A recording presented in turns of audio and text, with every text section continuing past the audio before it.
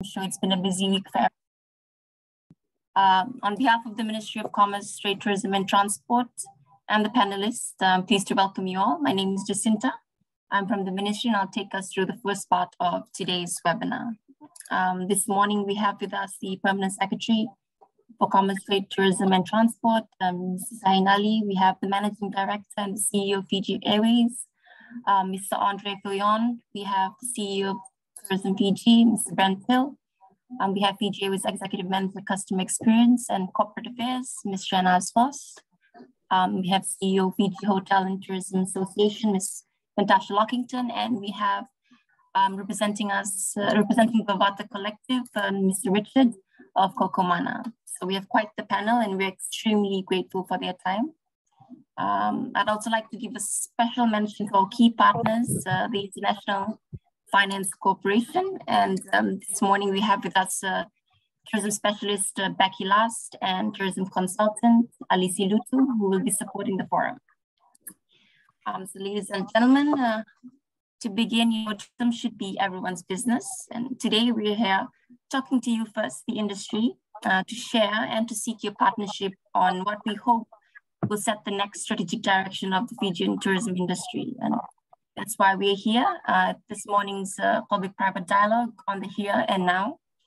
So having gone through several um, webinars talking all things rat, isolation, and vaccines, today I'm especially pleased to share that we're now looking um, forward. So just some quick uh, housekeeping rules before I invite the first panelist to speak. Um, we request if you have specific questions, they come through the question and answer chat. Um, and let us know if you have, uh, if you request a specific panelist um, to speak, we'll do that. Um, also, we'll do our best to respond as soon as possible and we encourage you to contribute in the later part uh, of today and take the floor. Um, we may not have all the answers this morning, um, but we'll endeavor to uh, get back to you as soon as we can. And we'll share with you our email um, as we go along. So uh, ladies and gentlemen, I would like to now uh, invite the Permanent Secretary for Commerce, Trade, Tourism and Transport, uh, Mr. Shaheen Ali. Um, the PS will share with us uh, the Fijian government's goals and uh, direction for a new renewed sectoral plan. So PS, um, over to you. Thank you. Thank you, um, Jacinta, and um, thank you and Bula Vinaka to everyone. And thank you all for joining us. Um, as you can see, ladies and gentlemen, we have a very good panel of uh, practitioners with us. And um, I'm acutely aware that some of them have other pressing commitments. Um, so we will try to keep our intervention short. But if you look at our panel of practitioners, they represent the marketing arm, the travel arm, the accommodation side, and also experiences. So we've tried to get um, stakeholders from across the industry representing you. So ladies and gentlemen, as you heard, this webinar is the first of the series of important public-private dialogue designed to set the next stage of development of our beloved industry, the Fijian tourism industry. For the last few years, we have been guided by a plan called the Fijian Tourism 2021, that was our national sectorial plan. And it also um, filtered upwards to our national development plan. The cornerstone of the Fijian Tourism 2021 or FT 2021 was to grow the Fijian tourism to an industry that was worth 2.2 billion Fijian dollars by the end of 2021. And we achieved this. Um, even with COVID. Uh, if we include the air component, by 2019, we became a $3 billion industry. And this was because of the stellar performance of the tourism industry, all segments of the tourism in industry. And because of this, the Fijian economy reached near decade of positive economic growth, and that has not happened in our history. So what, what was the FT 2021 all about? Focused on nine thematic areas.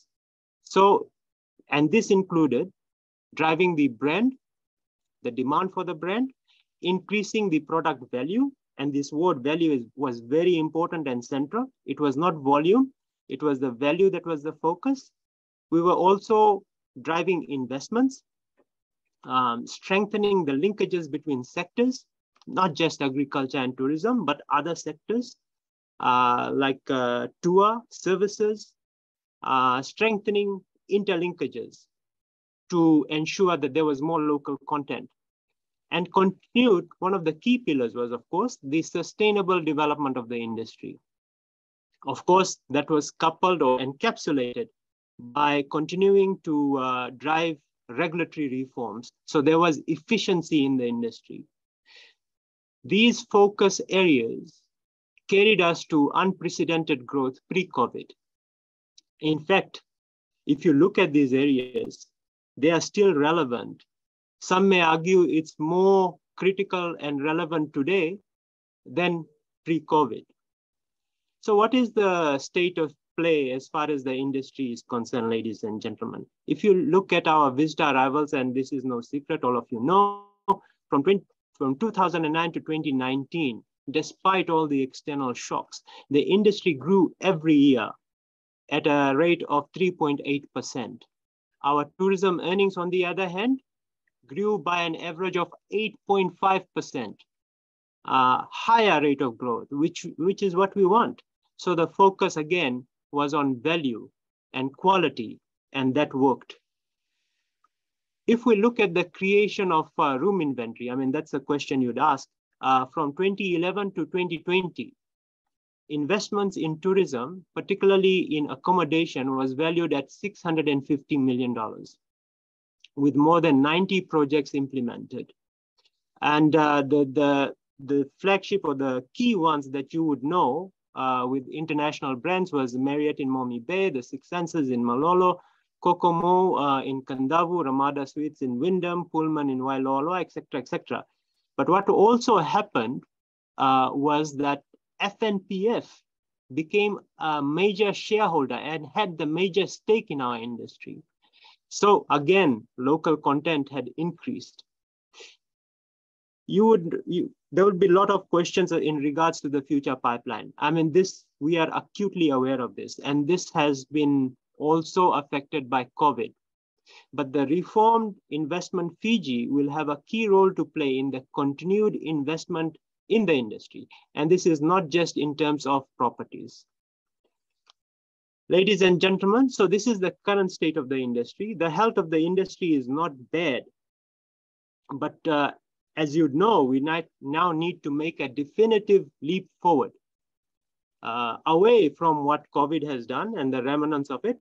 We need to move ahead, move forward as one industry in terms of uh, renewed direction, colleagues, the, we still have external factors affecting us. We have experienced 14 cyclones in the span of six years. And after 2016, where we experienced the superstorm Winston, and then we were completely stopped by a once in a lifetime event, which was the COVID-19 pandemic. There were other things um, US-China trade war, um, the Ukraine war, the um, effect on um, freight, fuel, food prices, the current inflationary pressures that the world is going through. These things will, will be the norm going forward. Uh, as you know, COVID-19 specifically changed the um, economic landscape.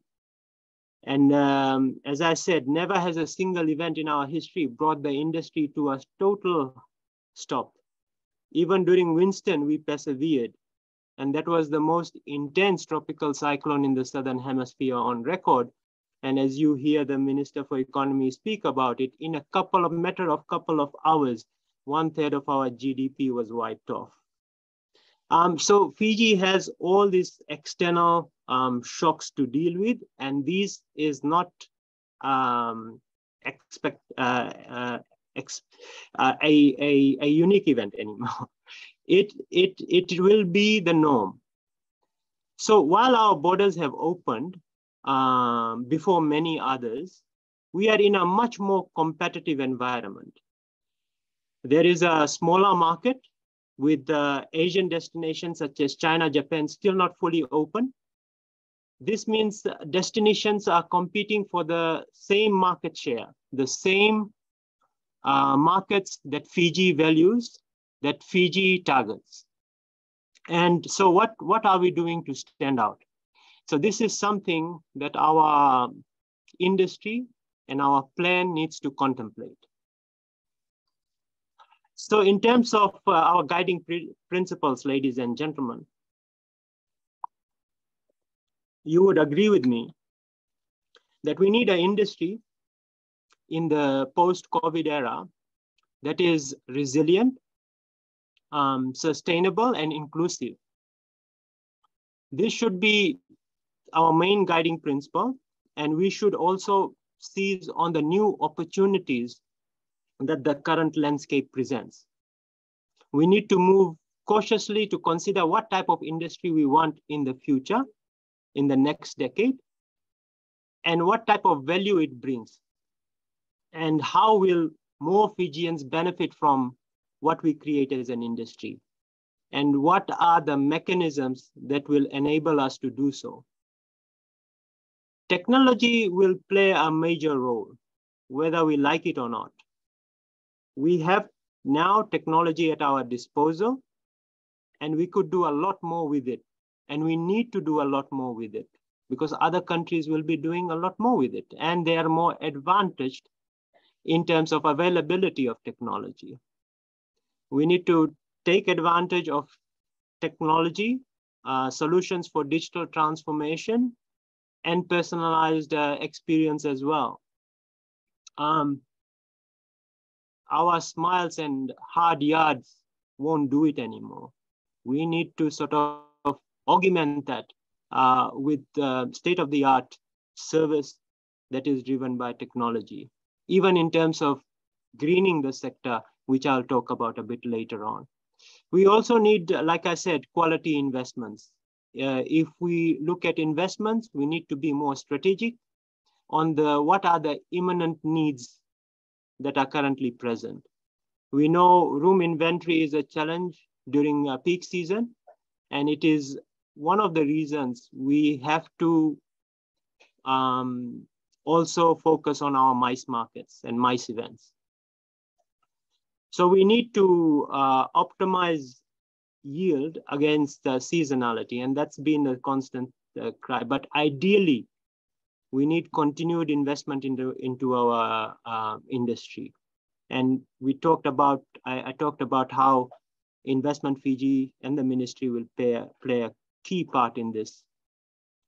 So aside from, uh, like I said before, aside from hotels and properties, we need investments in new experiences uh, and uh, all the products along the tourism value chain. Uh, this includes the supporting infrastructure, whether it's critical in infrastructure or auxiliary infrastructure. When we talk about uh, diversification within the industry, we should uh, not only think about other sectors, but diversifying into the sector as well, offering new types of products, new types of experiences, new values. Also, the longer term goal needs to be the support of every sector and every business going green. There is a Climate Change Act that legally binds Fiji to its commitment of net zero carbon emissions by 2050. So we can't ignore this.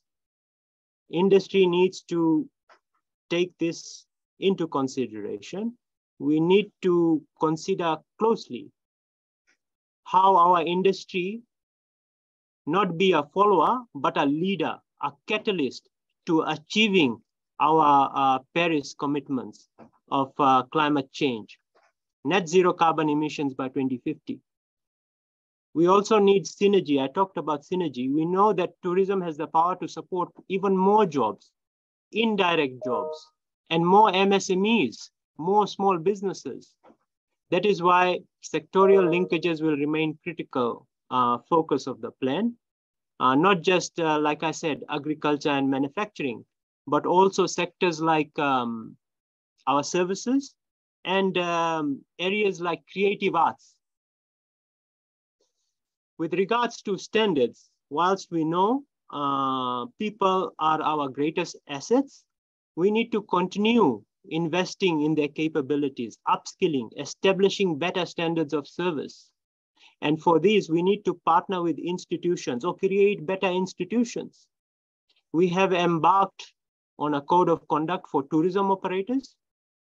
We have also established uh, child safe policies. And we have the crown jewel uh, of all standards, Care Fiji commitment.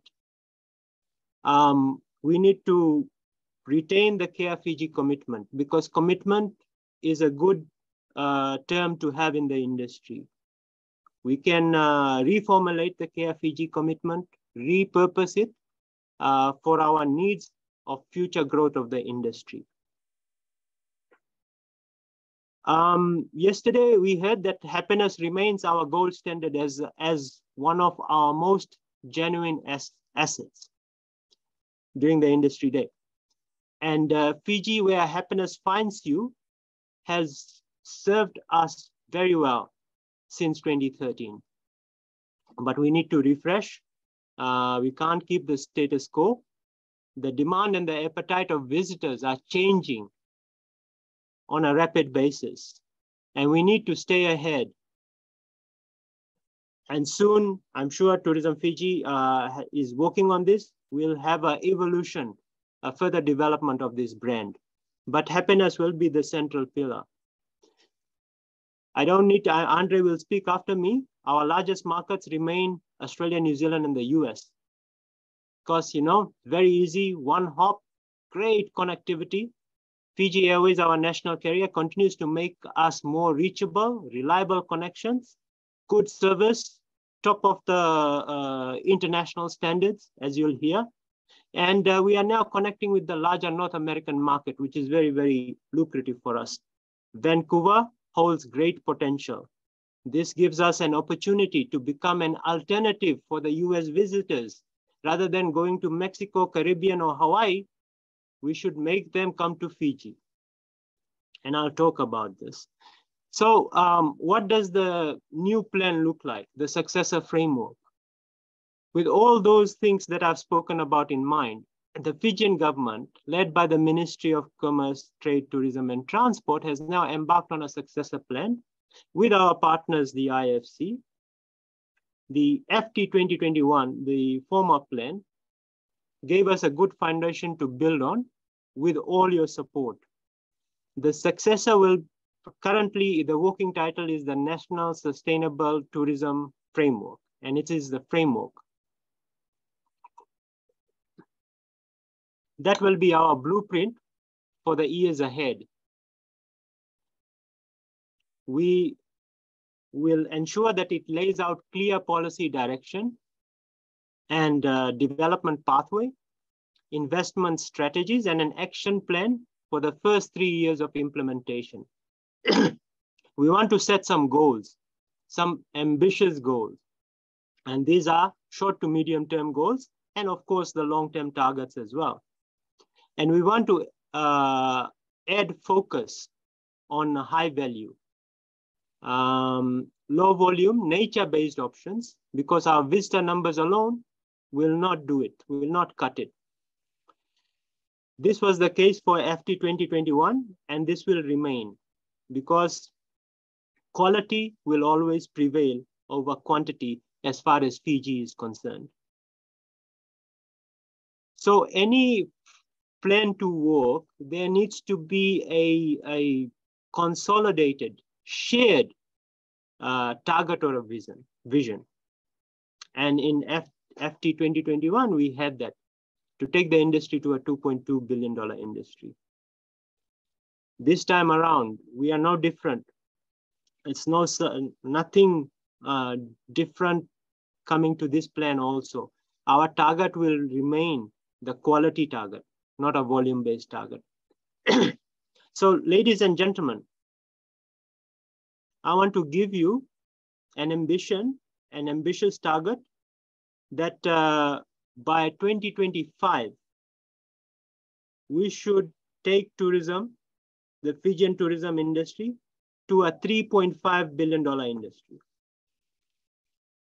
together with the, the value that tourism sector derives and also air travel. This is, this is not unachievable. Uh, it, it is an ambitious target. By 2025, we have three years. This will require us to make the journey from where Fiji is now to where we want Fiji to be. So if I can sum it in one or two lines, we want Fiji to move from an exotic destination to a desirable destination, to a desirable one. From an aspirational destination to an inspirational destination. So this is this is what we want uh, in order to get that 3.5 billion dollar industry, because Fiji is seen in some parts of the world still as an unreachable exotic destination. Meanwhile, the focus on the main markets will remain. We will establish a roadmap to enhance our competitiveness, our competitive positioning in anticipation of our future needs. Now, I cannot emphasize enough how crucial it is for us to have a meaningful and sustainable public-private partnership approach. This is one area where uh, if, if, uh, if we could sort of point out um, where FT 2021 faced challenges was to get the support because the targets are ambitious, the strategies are vast, government alone, um, whilst can driving the focus, cannot achieve this.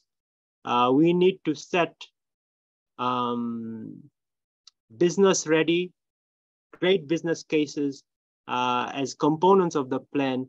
So our, our partners like IFC and other uh, um, trading partners that we have join us in achieving the targets of the new successor plan. So if we establish, if we are firm about where we want to go and establish a common aspiration goal and work towards it, and be seen to be working towards it in, in terms of our efforts, um, then I think the national plan will succeed. So I urge all of you to contribute, share your thoughts, um, ask questions, give your inputs more importantly, because we are starting with some key variables already sort of uh, factored in, but it's essentially, again, the plan will be what you say the plan should be. Um, it's not a total blank slate, but we want your inputs. We want this to be a not just a government plan, like I said, but an industry plan and a Team Fiji plan. So again, I, I urge you to contribute, and there'll be many opportunities uh, on uh, on this, many focused groups, and uh, many one-to-one dialogues uh, will ensure that uh, this this is achieved. And um, again, do share your thoughts on goals and strategies. And uh, if you feel um, they are not reflected at the moment. With these words, I'll, I'll, I'll quickly give the floor to our facilitators uh, at IFC. But thank you once again, ladies and gentlemen, and thanks to our panel members for joining us. Vinaka. Uh, thank you very much, PS. Uh, that was a great overview and certainly puts things into perspective. Um, a plan isn't a plan until we have a shared vision and clear goals, and that couldn't be truer. Um, the ministry is very committed to this undertaking, and we do appreciate your support in becoming, as described by PS, uh, a desirable destination. Um, ladies and gentlemen, um, I'll now call on our next speaker, uh, Fiji Airways. Um, Fiji Airways has been an incredible partner in our reopening and a huge part of our success, um, and there's a lot to look forward to. So um, and I invite the Managing Director and the CEO of Fiji Airways, uh, Mr. Andre Viljoen, to share with us um, some of uh, Fiji Airways' directions going forward. Thank you. Uh, well, good morning, everyone. And I'm going to be starting with travel trends. And I just want to contextualize that when I talk our numbers, and historically we used to bring about 65% of all arrivals into the country. It's slightly higher now, closer to 70%. So I don't talk 100% of the market, but probably around 70%. Uh, the way we measure our trends is we look at our bookings. Now, bookings are seats sold and cash banked. And if I look at the end of August right through to January, uh, roughly six months, our bookings are growing on an average rate of 7% every week. So week on week, they just keep growing. In 2019, we were very happy if we achieved 15,000 bookings a week. We currently run on average 25 to 27,000 bookings a week. So roughly 6,000 a day. So it's been astounding. And where we originally thought this was a bubble and would stop, it just isn't stopping. So, you know, very happy with it. So, so give you some numbers to that overall for our network. We're sitting today to the end of January with 427,000 seats sold. And in 2019, that was 390,000, so it's 9% ahead. If I break it down into the three key markets, Australia, Australia is also growing at around 6 7% every week. Our bookings today are 198,000 bookings versus 160,000 in 2019. That's 24% ahead. And I then moved to the USA, Los Angeles and San Francisco. Our bookings held today are 99,600. The 2019 level was 102,000, so we're about 2.5% behind. So the year is slightly lagging behind, but week on week, it's growing by 10% the bookings. So it's catching up. We've seen a slight change in the booking pattern. And historically, most, most holiday makers, and 97% of those arrivals are holiday makers, um, booked four to five months out.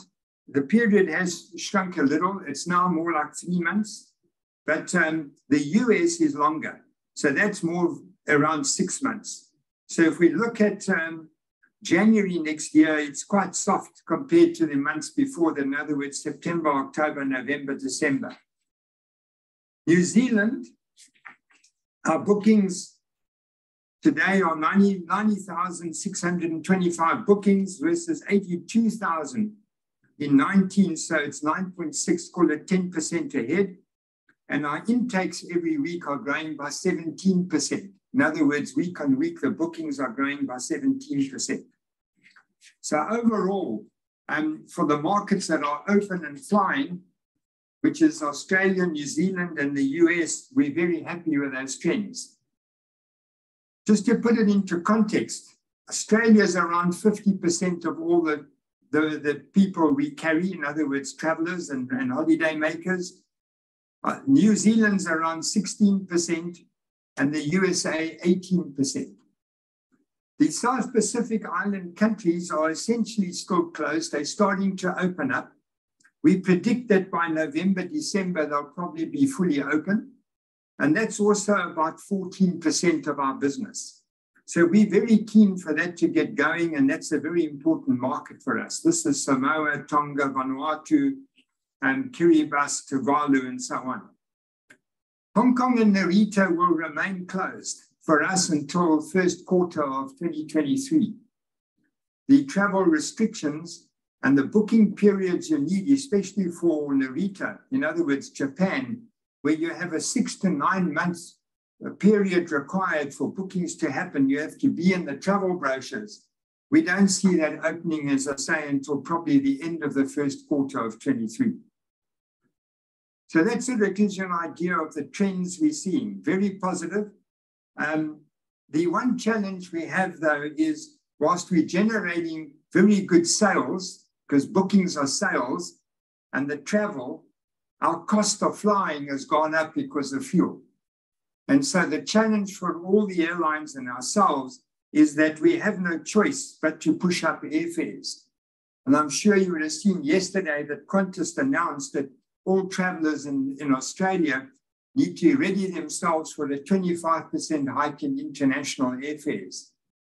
Uh, we've gone through four cycles of fare increases and on average around 15 to 18%. And of course, our concern is that if we keep pushing those airfares up, at some point that could dampen the demand. So it's something we, we closely monitor. But airlines have little choice because our cost of flying um, is dramatically up. And to put it into context, this year alone, with fuel averaging around $135 a barrel, we're going to end up with an extra cost of fuel of nearly 200 million in the business. And we have to find a way to offset that. And the only way is, is airfares. Then I move on to new destinations. Um, you heard um, PS mention that we're starting in Vancouver on the 25th of November. So very exciting. The bookings to date have been very promising, and uh, we're very happy with our decision um, to go to Vancouver. And um, we expect that the real demand from Vancouver will really start in Jan, Feb, March next year. There will be flying in November, December, but the real traffic will be closer, uh, more likely to be Jan, Feb, and March. In terms of other new destinations, well, we're busy with a full network analysis. We do this every year. We call it a clean sheet review, where we sit back and say, we've got the aircraft, where are the destinations we can fly to? What potential traffic will flow? In other words, passengers and holiday makers from those destinations. And we use special models that predict what we call the passengers per day each way, the PERDUs. And then we see if we stimulate it, will it improve the number of PERDUs. And um, at this stage, we still don't see any other destination other than um, other markets in the USA. So the USA, we don't, we believe we're not even scratching the surface. And this is why I'm going to say that. Of every flight every day today, and this was pre-COVID as well, at least 50% of the people on the flight from Los Angeles are connecting via Nadi to either Australia, New Zealand, and it used to be the South Pacific countries. And once they open up, there will be a lot of that to those countries as well. We'd like to see a lot more Americans coming into Fiji on holiday. In other words, we call it point to point traffic. And we, we've decided that we're going to do a major campaign and a major exercise to try and get what we call the mid market traffic this is the holiday makers in the USA that go to Hawaii, not to, not to the Caribbeans and to Mexico, which is a cheaper element of traffic. We want the high value traffic, and this is not your, your, your high, if I call it private island resort traffic, but the bulk that goes to Hawaii. It's a roughly 11 million travelers a year to try and see how we can attract an element of that traffic to come to Fiji. And, and try and reduce the amount of connects on every flight. Now, you may say, well, why do you carry that connect? Well, the demand's there. And importantly, if we didn't have that traffic, we couldn't fly daily. We couldn't justify a flight every day. So that's a very important element that keeps us flying every day. However, it is our objective to reduce that to a lower level. And the mid market campaign we're busy with and exercise is we're talking to all the big wholesalers, retailers that sell Hawaii to try and understand what is it that they're not selling Fiji.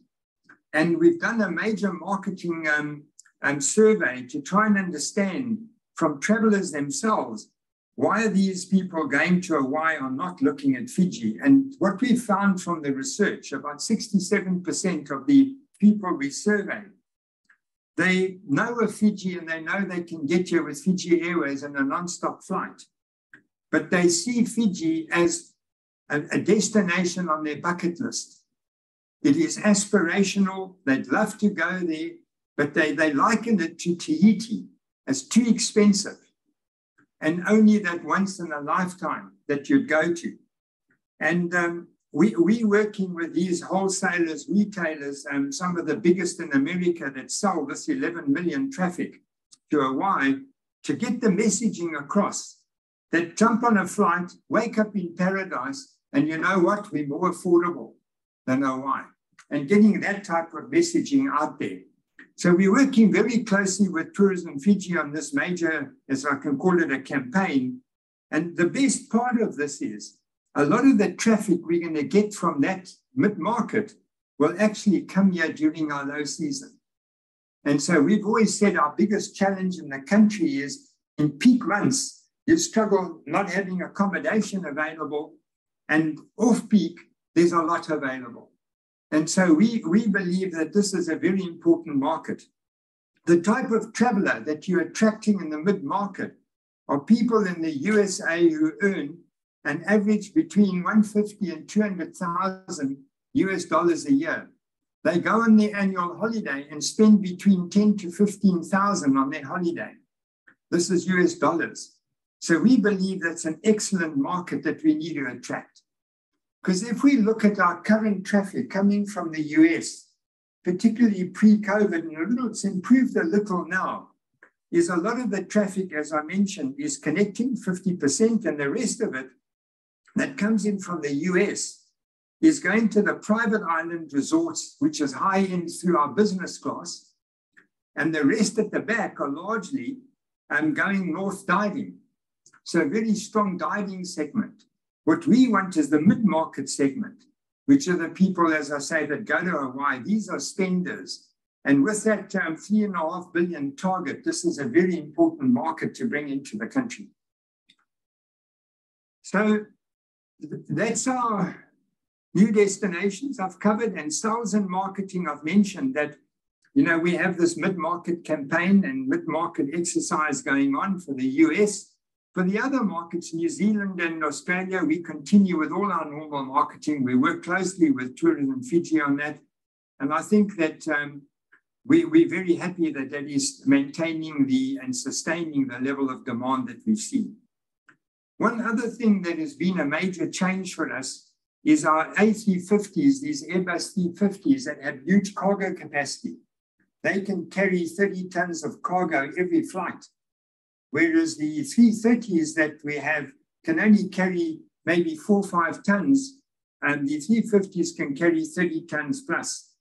So we've seen a dramatic change in freight um, moving up and down. Now, this is very important because freight helps us maintain flights and, and, and in a sense, subsidizes some of the, the, the investment we have to make, especially with new destinations. And cargo business for us used to be 60 million a year. This year, it's going to be more than 200 million. So a massive increase in uh, the value um, to the business. So I'm happy to stop with that.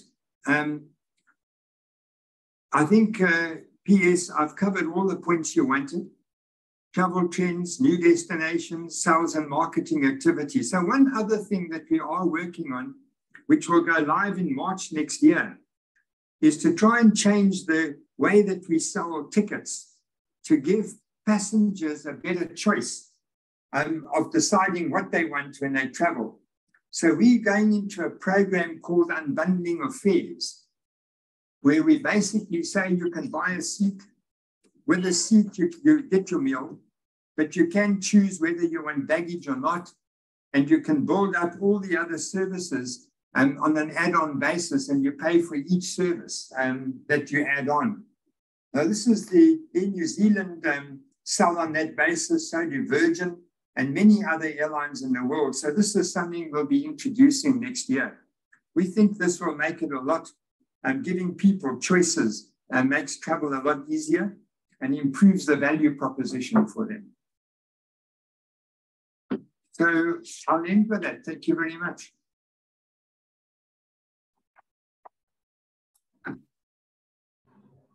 Um, thank you very much, CEO.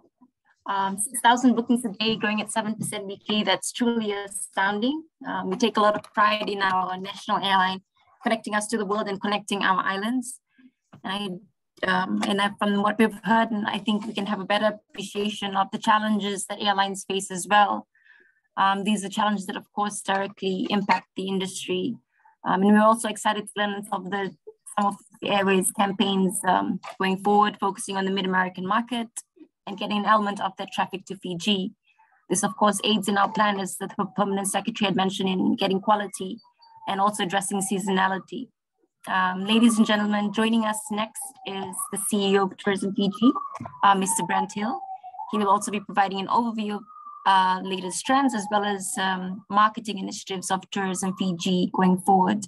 Uh, most of us had an opportunity to catch up um, with the Tourism Fiji um, team yesterday at the forum. So we look forward to hearing from you, CEO. Thank you. Vinaka, Jazz, and uh, Yadra, everybody. It's uh, fantastic to to be here uh, this morning. I'm, I'm coming to you at the moment from uh, beautiful Malolo Island in the Mamanucas and uh, had fantastic morning this morning, um, you know, talking with some of the operators here. And, you know, one of the things that, that I'm always uh, excited about is when I talk to, you know, some of our resorts out in places like the Mamanucas and they tell me that um, they're, they're completely booked out uh, through to the end of the year, which is really exciting. So from that perspective, you know, we, we are um, in a, in a wonderful place at the moment. Um, since we reopened in December 1, we currently have had 307,000 guests come into Fiji. And I think, you know, it's really significant. Um, we mention this often, particularly in our PR messages to Australia, uh, to New Zealand, and to the US, because it gives people assurance. Um, I was talking to a group on, on Sunday night, um, just welcoming, welcoming a, a group of around 100 golfers to Fiji uh, on Sunday night. And it is interesting, you know, sometimes we have moved past, you know, in our language, you know, around around COVID. It's very normalized that we've sort of worked with that and dealt with that. But you know, talking to some of the people there, you know, there is still some people that uh, you know, it's their first trip and and you know they're they're getting through those you know early nerves. So I think you know from that perspective, it's really important that we continue to mention the numbers that have come to Fiji because it gives people reassurance around the fact that uh, plenty of other people have come and gone very safely uh, from Fiji and had a great time. Um, so from that perspective, uh, the 307,000 is, is around about 55% of 2019's level. Uh, but what's exciting is that RBF have confirmed that the spend uh, is at 82% of, of 2019. So we are getting um, tourists spending more in, in Fiji, which is, which is wonderful. And if you look at just the last couple of months uh, in terms of our comparison to 2019, we're up around 82%. Uh, and that continues to grow, you know, every month in terms of how we're tracking uh, compared to that 2019, you know, peak month, which is, uh, you know, very, very strong. So from that perspective, um, we've had to uh, continually reforecast our, our numbers and our anticipation of how many people we expect to see arriving into Fiji. Um, we the first uh, original reforecast um, done with Reserve Bank of Fiji was for 440,000. That's subsequently been reforecast again.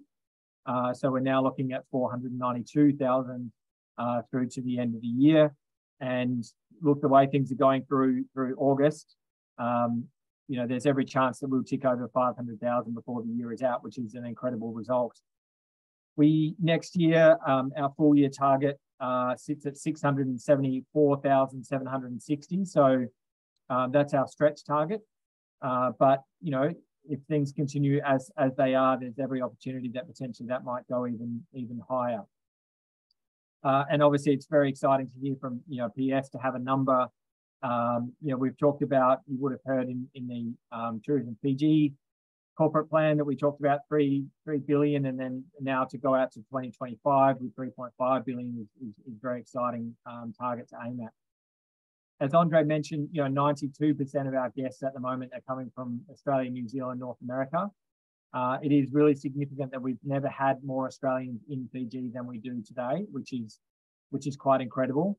Um, we're very excited about the opportunity in, in Vancouver. Um, we've seen some very smart work by Fiji Airways in terms of you know increasing uh, capacity uh, into into Melbourne with Adelaide coming on, uh, and now with Vancouver being added to to LA and San Francisco. So, uh, as Chair rightly mentioned, you know we're working very hard. Um, our, most of our money goes into the US, and we're working very hard with our industry over there. And, and really starting to get some major wins. It's, it's very exciting when you talk to Marriott, Sheraton, um, Intercontinental, etc. Some of these properties, their percentage of US guests has gone up considerably.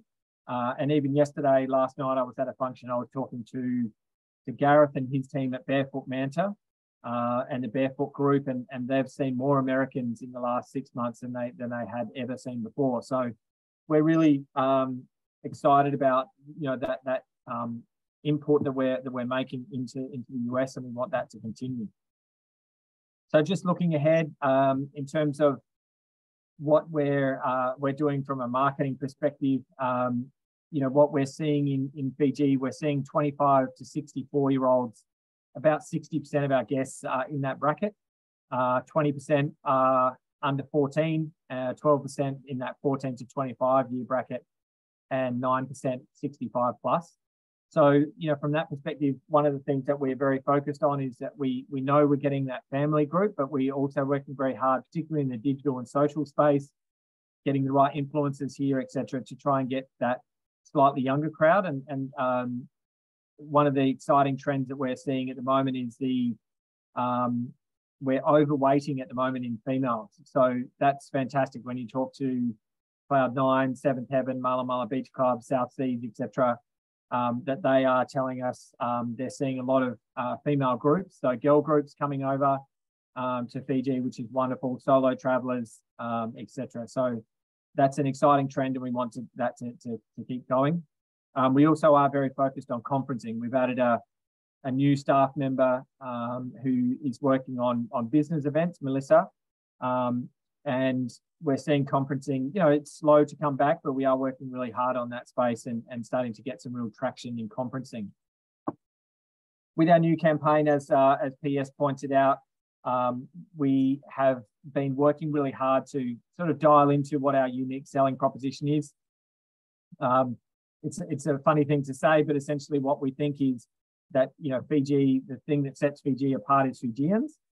Uh, and, and by that, we mean, you know, the, the culture of Fiji, the unique um, multicultural element of Fiji with that, you know, wonderful um, smorgasbord of, of food and culture and dance and song and happiness and, and so on that, that just comes naturally from, from Fiji. And so uh, the campaign is titled Where Happiness Comes Naturally. We shared that um, with some of the some of the team yesterday. And we also have a, a brand evolution, which is happening at the same time, uh, which will be coming out. So that will be launched um, to industry here in Fiji on October 6 and then globally on October 10 with uh, appropriately at Fiji Day.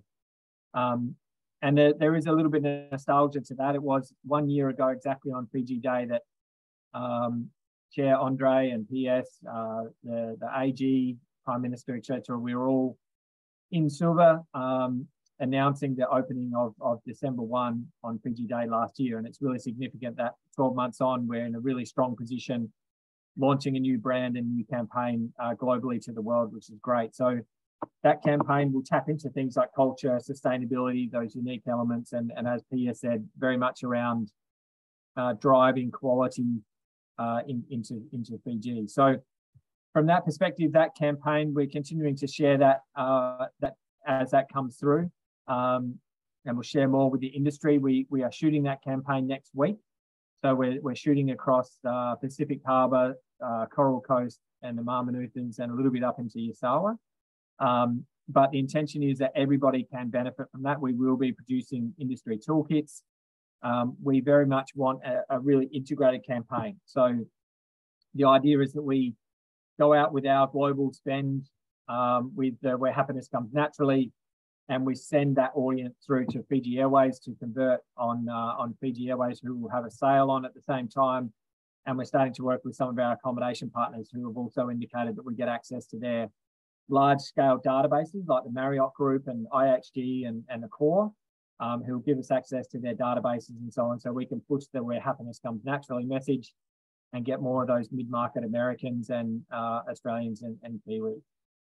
So from that perspective, you know, we're really excited about that. We've, we've seen some incredible numbers uh, that came through with our, um, our original Where Happiness Finds You campaign that, that starred Rebel Wilson. We had just some unbelievable, you know, PR figures around the world, captured the world's attention, and um, we've got some great opportunities through the back half of this year to, to um, at some of the most major travel conferences around the world where we've been asked to come and present and speak on Fiji's recovery because it's uh, it's seen as a blueprint around the world for of how to uh, open up a country, which for a small island nation is, is something we're really proud of. So I'll leave it there, Jazz, but um, we're certainly very excited about uh, the next month or so uh, in terms of that campaign coming through. We expect that that's going to give us a little bump through to the end of the year, and then and what we're really excited about is is 2023 to really get stuck in.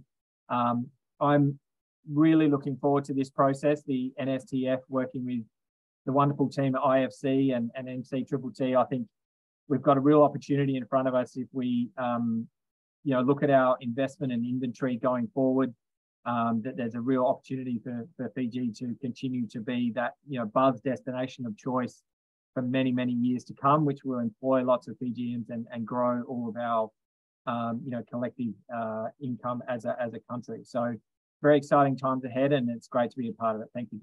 Naka.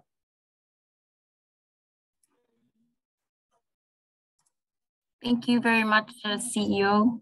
Um, so we're seeing some strong numbers from bookings to arrivals to yield. You can also see some changes in the trends as, as expected.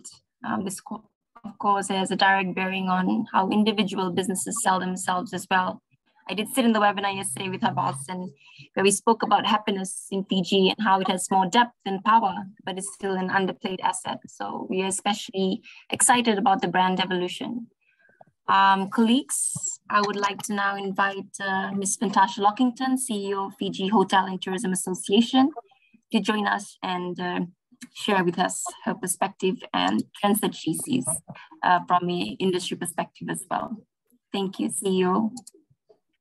Thank you, Jacinta Bulavinaka, everybody. Uh, and thank you uh, for the invite and the chance and opportunity to discuss. Um, Mine is on high level uh, on the national budget, what is present and, and what needs uh, addressing now.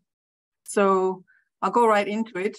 And I'll start with our current challenges for tourism that include, and there's seven on my list. Uh, top of the list, obviously, is the increasing costs for fuel, the increasing costs of imported items, the ongoing supply chain issues, the effects of the Ukraine and Russia conflict, uh, increasing infl inflation in our key visitor markets, a limited pool of skilled workforce, and climate impacts. And of those seven, um, numbers three to six, the supply chain issues, the effects of the Ukraine-Russia conflict, uh, inflation, growing inflation in our key visitor markets, and um, the issues with our skilled workforce, those will, we believe, uh, are either out of our control right now or will be addressed uh, by 2023. But the ones that we can effectively plan for uh, through a wider national sustainability lens specifically, and through ways to encourage sustainable and transformative tourism are the fuel and import costs and the climate change impacts. Within these two very critical areas that impact tourism, fuel costs and climate impacts are the impacts that are not only just outside our control, but are certainly areas that we can mitigate and plan for It's a small island nation. It's recognized for its advocacy in international forums to tackle climate change, but it's also known for its efforts to implement green initiatives. And these have been implemented across um, sectors like tourism, agriculture, and even transportation. And we can see the government has uh, started to acknowledge the need for sustainable economic, social, and environmental reforms. And we also see that they've started to rethink strategies for longer term prosperity through both green investments and through supportive policies and tools that protect our natural capital and obviously promote our social inclusive development. And Fiji is committed to a really ambitious climate change mitigation goal 100% renewables for its electricity generation by 2030 and legislating a net zero carbon emission target by 2050. These are huge goals. So with the global pandemic, that is one of several development challenges that we've seen has compromised our economic growth. But it's also forced us to hit pause and reevaluate how we do our day-to-day business, plan for emergencies, and even review our services and products because of the changes we've seen in visitor demand. And much of these have been discussed now um, by Andre, by Brent, and even by the PS. If I can break it down to three main areas of focus um, that we believe uh, should have immediate and ongoing national focus, I'll start with energy. Tourism's highest cost in business is the area that we will need to ramp up exponentially in our efforts to go greener or be far more sustainable and reduce our costs. renewable energy to displace, uh, to replace diesel uh, and support or back up our current energy needs. We need to be considering geothermal power accessibility that can, if you think about it, eventually access Fiji's many geothermal outlets around the country, especially in the north and the west. Um, we need to be thinking about access to more affordable wind and solar power and to rethink options for portable, durable power sources so that many of our smaller island resorts have better and more affordable options to swap out their diesel generators for. Underneath energy, I've added two more, perhaps not as urgent now, but should be planned for, is access to clean drinking water throughout our islands and some supportive policies to have commercial and residential areas a little bit more prepared to be more self-sufficient to access rainwater. We don't see that there's, there's enough of this going on. And then the other one um, just tagged under, under that is the formal waste collection for both garbage and sewer, recycling and management of formal waste, because currently most non-urban tourism businesses must manage their own waste, while the communities around them do not. And this has two impacts. One is the cost uh, to the business bottom line, as well as the long-term detrimental impacts they have on the environment, which we are trying to promote Fiji as being uh, a little bit more uh, aware of and, and doing a lot more in. The second of these three main areas is climate change impacts. There's no doubt that we'll be experiencing far more harsher weather. Um, and we've already seen this even over the last two years while we were we had our borders shut down. But the long-term sustainability of the industry requires that overarching and supportive policies include the preparation of this through strengthened infrastructure development and a little bit more inclusive emergency response planning and not last, you know, last minute type. It also requires climate vulnerability assessment. How do we determine what interventions are required now to reduce our climate exposure in the ongoing future? And the last point um, is the increasing cost of food items. Of the three main items I've noted, energy and food costs are probably the key sources and highest cost contributors to leakages from out of Fiji. So we have a huge opportunity in agriculture for far more fresh food produce than is currently available. We have the available fertile land, but issues with accessing this and the challenges with technical expertise in farming on a commercial scale is hindering this progress. Everything from seafood, meat, dairy products, fruit and vegetables that can be grown here that would not just be preferred, it would reduce our reliance on imports and reduce this by around 24 million annually for tourism alone, and apparently by the same amount for local consumption. So we would be doing ourselves as a country, uh, our, you know, the biggest favor in terms of uh, uh, ramping up our agricultural produce, uh, not just for tourism, but for um, local consumption as well.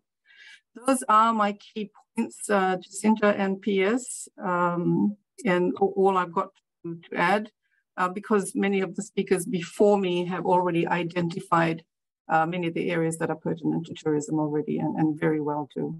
Thank you.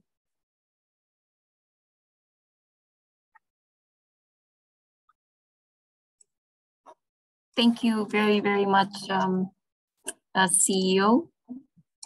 Sorry, I'm just having some internet. Um, FIDA represents a large part of the industry and um, so your insights are always welcomed. Um, we note uh, some of the most imminent uh, challenges you have mentioned, um, supply chain disruptions, uh, the cost of fuel and imports, skills shortages, um, and we hope to address them as we go along. Um, and of course, you made a very good point about going green and uh, replacing uh, diesel with renewable energy, um, being more self-sufficient around waste collection. Uh, and these are conversations that we hope to have more discussions on along the way. So not just with the tourism stakeholders, but with key government um, partners as well, um, as well as other private sector players. So thank you very much, uh, uh, Ms. Lockington. Um, ladies and gentlemen, um, I would like to now invite our last panelist, um, who's joining us from the ministry uh, this morning, uh, Mr. Mark, uh, sorry, Mr. Richard uh, Markham, who will share with us a perspective from SMEs. Um, Mr. Mr. Richard is representing Duavata Collective, and he's also the owner of Koko Mana. So Mr. Richard, I now invite you to the floor, please.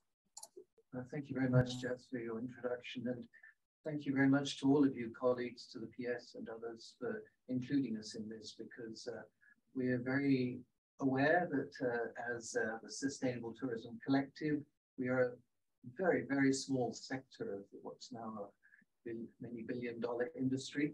Um, but on the other hand, um, we like to think that we're perhaps ones who have perhaps set the pace a little bit in, in setting expectations for the sustainable part of our industry and um, have um, had some useful experiences that we'd like to share with you. I should say right away at the offset that I've been asked to talk about perspectives from the point of view of tourism, micro, small and medium enterprises, but um, we are a particular sector of those. We're not an industry body representing SMSEs in general. We are a, a group, a Duavata Collective has 15 members. We are already highly committed to the sustainable end of the tourism market. And uh, that's part of our, our DNA, our operating practices, um, not something that we're coming into. And it's partly to offer, to share that perspective that um, I'd like to share a couple of thoughts with you this morning. Um, firstly, although we're small operators, I think the Duavata Collective includes some of the iconic Fiji activities and experiences that are being so splendidly um, highlighted through um, through Tourism Fiji's and and uh, and uh, through. Um, sorry, sorry, um, sorry, Mr. Malcolm. We'll just ask you if you could speak up slightly. Should I speak just have near, some... near into the microphone? Would that help? Is, is that better? Yeah. So um, I was saying that um, so Duavata's 15 members, who include a variety of on land and on sea experiences, I think though small, we, we do offer some of the iconic Fijian experiences which help to distinguish Fiji as a destination and which have been featured very uh, effectively by Tourism Fiji and by Fiji Airways in their marketing campaigns. And we're very grateful, of course, for, for, for that collaboration and that extra visibility that it gives us. Um, but I think we'd also like to share with you some of the um, things that have come out of that, of that. As members of Duavata, we sign on to a set of values which I think are perhaps useful to think about in terms of sustainability, because we're very much about the quality that the PS mentioned rather than the numbers. We are small, we want to see a particular kind of experience and a particular kind of tourist. So we promote the leadership and traditional practices of resource owners, communities in managing their vanua. We offer experiences that are founded on and interconnected with the environment and its conservation. We strive to integrate cultural heritage and cultural industries into our experiences. We see travel as a learning experience and a respectful exchange of ideas between the Fijian communities and their visitors from overseas. And we expect our guests to give back more than they take. And finally, you know, we strive to continuously enhance the human and natural resources required for the future that are the foundation of sustainability.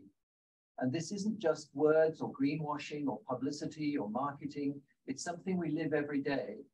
Um, we've all struggled like the rest of the industry to get through two years of COVID we have tried to use that time to work with our, the communities that are our partners, to train them for ecotourism skills. We've worked on the environment to try to do things like uh, developing coral nurseries, mangrove planting, reforestation with native tree species, um, and so forth, as a, series of nature-based and culturally based activities that are at the heart of our, of our um, the experiences that we sell, but also that we see as fundamental to this new trajectory for Fiji, Fiji tourism. Um, and it's been, of course, wonderful to see, um, well, the numbers picking up um, in our own experience and in the figures that, are, that our colleagues have, have presented this morning. Um, it's great to see also in the official strategy, more emphasis on quality, more emphasis on um, on sustainability. And um, it's also been particularly exciting for us to see, for instance, in the IFC and ministry study of the future of tourism in Vanua Levu, that they, they've identified the, the great value or the great potential of nature-based and community-based tourism to contribute to the sustainable development of tourism. But um, one of the things we would like to ask you to consider is whether it's possible to improve the fineness of data collecting so that we can tell whether we're making progress towards sustainability. Um, we've heard something about quite a lot about the numbers coming in, the higher level targets, but um, and we want that kind of quality tourist who really values the fact that they are in Fiji, not just some other place that offers them a swimming pool and a noisy jet ski to go around the bay, but that really gives them a quality experience and interaction with Fiji culture and the environment. So um, we'd love to see some data that tells us what proportion of the tourism dollar remains in Fiji and where in our society and economy do these dollars end up. There are three pillars as we see it of all of us as sustainability, cultural, environmental, and economic. But it's a key element of that economic pillar that the development should be inclusive, that the share of benefits should be equitable. And it may be worth reflecting as we go forward on some indicators for that. I don't want to point fingers or anything like that, but just to slightly dramatize it for you, in Savu Savu, where, where, where we are based, uh, we are we have been in general as the tourist industry happy to see the return of cruise ships, including the big ones. Okay, and so Savu Savu is a community of 5,000 souls. Um, there's 3,000, 4,000 people on one of those big cruise ships. What's the impact on local services, water, sewerage, waste disposal, but also what's the quality of the benefit that comes in from those tourist dollars?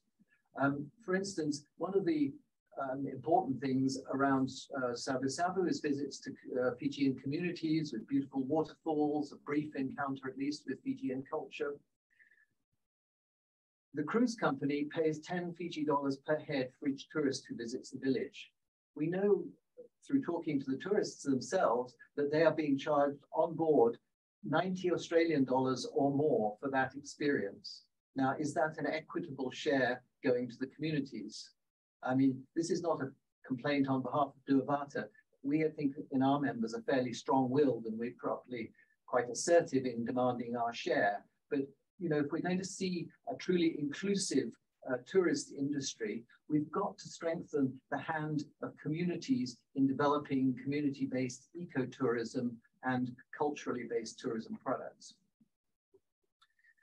Um, similarly, we've got through the last two years, somehow we've survived. That was felt like it was in deep doubt at the time, but we, we are coming out of it.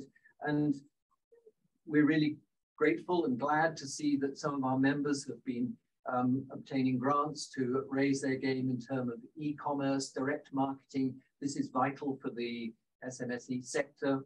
Um, and but I think we've got to do more. Um, it's very hard for a community, let's say, developing an ecotourist experience to get into that market. They need help. Another of the actually great things about the COVID experience, if that's not a silly thing to say, was the way that different stakeholders in the industry pulled together, and we were grateful to be included in that effort. We had a lot of interactions with Fiji Airways, with Tourism Fiji, and so on during the survival phase during COVID. And we were grateful for that, and we would really like to, to see that going forward. And perhaps now it can be recast in terms of not just survival, but how do we make the industry more su sustainable? Because we see that as the, the strength, the experience that we can contribute to the dialogue. Um, Fantasha mentioned some of the things about um, greener energy and so on. I mean, our, our members, though small, are already doing a lot of these things in terms of solar energy, using our own rainwater, disposing of our own waste, recycling it in a responsible way, making compost, growing organic vegetables, and so on. Um, we're keen to share those experiences. There's a lot more that needs to be done. We, um, some of the experience we had during lockdown, we, we, we tried to engage in the north with some of our more conventional tourist partners um, about building back better, bringing back more sustainable tourism. And we were very conscious that some of our potential partners saw sustainability as a threat that they thought that they would be accused of being unsustainable or that there would be new um, new standards and, and, imposed on them new costs, this kind of thing. Um, we've obviously got a lot to do in terms of, of helping the industry to understand what is sustainability, you know, what are the elements, which are the ones that are actually a win-win and not just a, not just greenwashing for marketing purposes, but which ones can actually help their business at reasonable cost to appeal more to their to the to, to their customers. And I think again, all right, we're not big players, we're not experts in this game, but we have had some experience in this area, which we'd be keen and happy to share with, with other tourism operators. We'd obviously like to see more um, of the mainline tourist industry involved in conservation. That's our lifeblood. During the um, shutdown, we were fortunate to be able to offer Duavata conservation leadership experiences to, to communities instead of to, or to youth groups and so even to the, sometimes the elders and decision makers in the communities, the sort of things that we talk about often to tourists.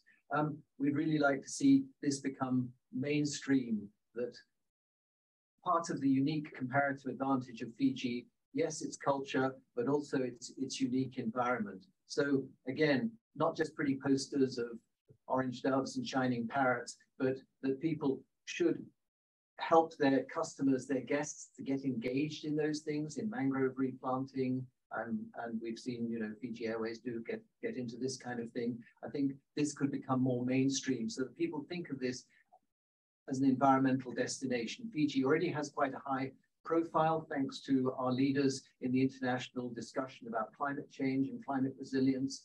Um, this is this could be a tourism selling point as well. Get people involved. There's a there's a growing enthusiasm, a sector of that of the, of the market that's actually interested to hands-on do those things.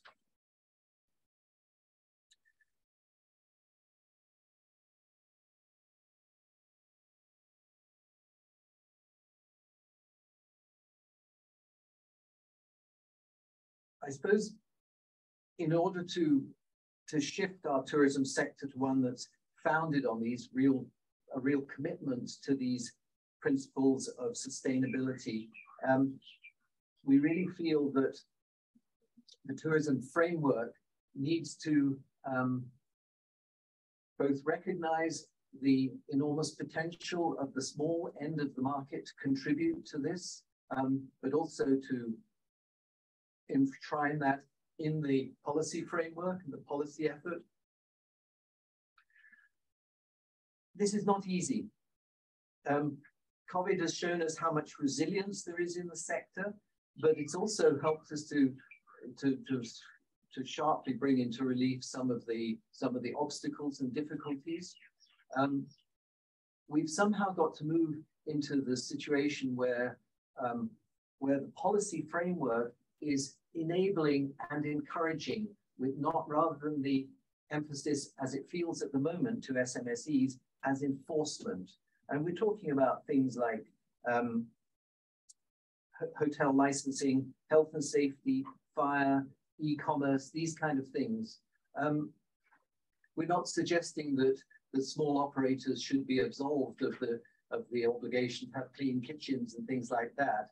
Um, but we're just saying that um, and in fact, we rather the opposite way around. We say that we think that it's important that there should be a fit for purpose regulatory framework that gives visitors, tourists, the confidence to visit that, to be engaged with the community sector, the ecotourism sector, um, with the appropriate level of regulation. I mean, I think if we're honest about it, the, the regulatory framework that's been set up over the past 20, 30 years has been mainly designed for the conventional tourism market, for resorts and so on like that. And now, if we move towards things like encouraging communities to offer homestays, um, nature-based, community-based experiences, is the regulatory framework fit for purpose? Is it appropriate? We, we feel it isn't on the whole from our own particular experiences.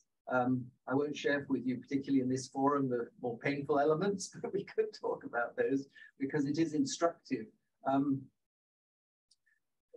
and I think it's just as a principle to try to think how, um, for, for, for instance, just to take a simple example, there really is no government recognition for a community homestay at the moment. Some of our, our members are offering treks with, with homestays or nature-based experiences with village homestays.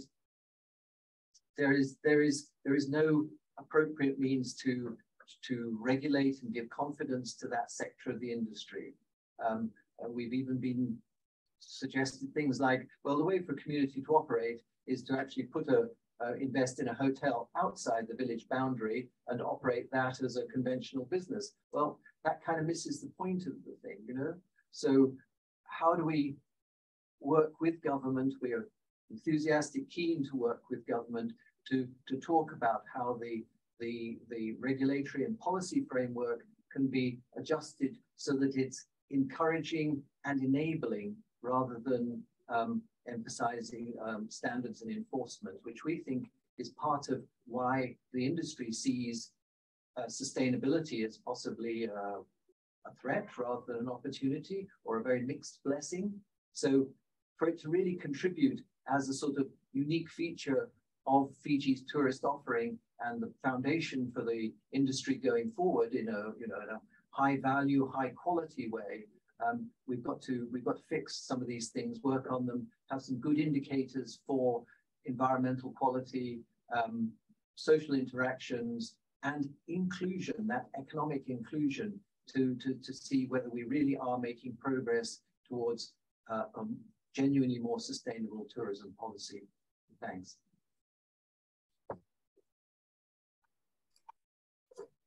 Thank you very, very much, um, Richard. Um, uh, so, ladies and gentlemen, the Duavata Collective are in fact leaders in promoting sustainable tourism. And as a collective, they've been they're representing some of the smaller operators who have more unique challenges than most other operators. So we do want to be as inclusive as possible in any goal or any strategy that we develop. Um, we also agree that quality visitors uh, don't necessarily mean uh, is not only measured by the money they bring in, but uh, their respect to both our culture and our environment. Uh, and of course, to ensure that any benefit is equitable to the community as well. And that should be at the heart of our planning. Um, we also take note that there is a need to establish more baseline data on um, how we promote more cultural tourism and sustainable tourism and how do we actually measure their benefit and who benefits um, we also note, and this is a very important part of the framework and our dialogues going forward, um, is looking to create an enabling environment for MSMEs rather than a regulatory one. Um, the ministry is currently leading reforms uh, through our reforms unit in this area with the IFC um, to make them, as you've said, uh, fit for purpose. Mm, and we will definitely have more dialogue um, specifically on addressing some of these uh, regulatory barriers, um, especially geared towards MSMEs. Uh, so thank you very much, uh, Mr. Richard. Uh, ladies and gentlemen, I think that concludes the, the presentation, the speakers um, this morning. And again, once again, thank you very, very much for your time. Um, we will now go into uh, any questions uh, and open the floor. Um, again, as we mentioned earlier, um, we encourage you to come to the question and answer section, but I will now give the floor to um, uh, IFC colleagues, Ms. Last and Ms. Lutu, to moderate the next session. Thank you. Thank you very much, Jacinta. And just to echo IFC's thanks to all of our panelists who've joined us this morning. Um, you know, we know that these are very busy people and their time is extremely valuable. PS, you know, thank you so much for your opening guidance um, and your continued leadership in this space. We, we greatly appreciate your participation and, and ongoing support to this process. IFC is truly delighted to be supporting uh, the Ministry of Commerce, Trade, Tourism and Transport and the sector more broadly in developing this new survey. IFC's work in Fiji is supported by Australia through the Fiji Partnership and the Fiji Private Sector Development Partnership, by New Zealand through the Fiji Partnership, and also by the World Bank Sustainable Development Goals Partnership Fund. We've had lots of valuable inputs today from our, from our speakers from across the range of the sector. Um, so we want to hear now from you as our audience, our participants, and as our key stakeholders. We're going into a Q&A session. Um, we have, I think, about half an hour for Q&A and then a remaining 15 minutes we can open up for people to speak directly. Um, and I think we have a little bit of extra time at the end um, to continue the conversation for those that remain available. Please put your questions directly into the Q&A box.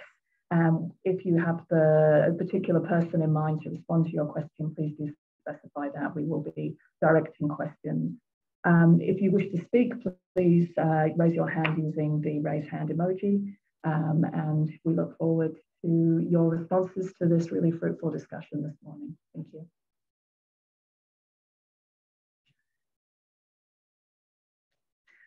So the first question we have is whether we'll be sending out a recording of this webinar. Absolutely. We will um, work with our Tourism Fiji colleagues to disseminate the recording once it's available.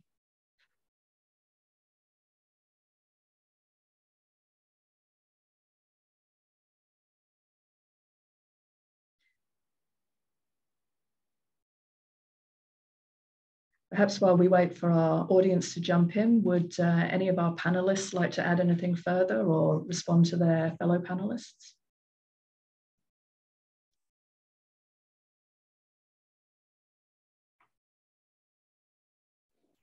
Yep, please go ahead, Tourism Fiji.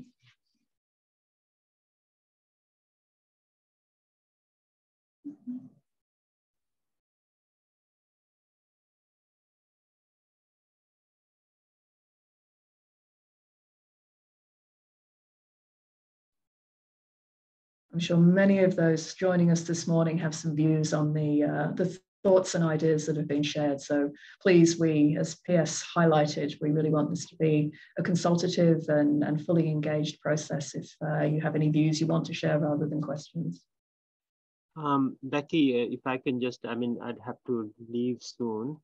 Um, but given that uh, whilst we are still collating um, questions, I'd like to um, thank our panelists really. Um, it's been, um, I think, um, you know, the, the, the, views that have been expressed, um, firstly by Fiji Airways, um, Tourism Fiji, Fiji Hotel and Tourism Association, Duavata Collective, I think sum up uh, very well as to what are the opportunities ahead and with the targets that we have um, set, what are the focus areas that we need to uh, be able to concentrate on in order to get the tar- get to the target.